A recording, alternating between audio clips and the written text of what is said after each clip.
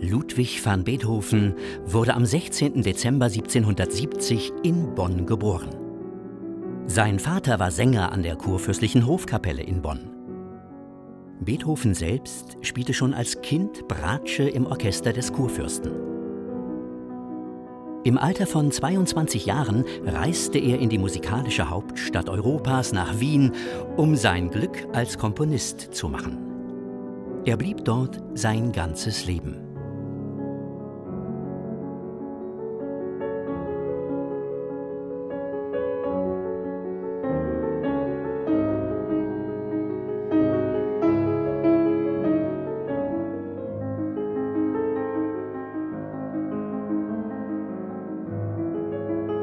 In Wien fand er Freunde und adelige Förderer, die so begeistert waren von seinen neuen Kompositionsideen, dass sie ihm ein Leben als freier Komponist ermöglichten.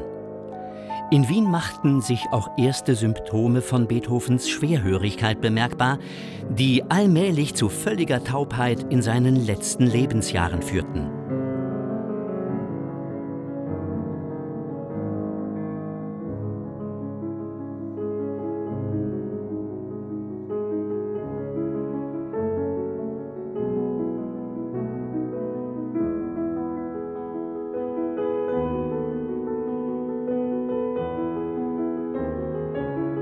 Beethoven wurde 56 Jahre alt.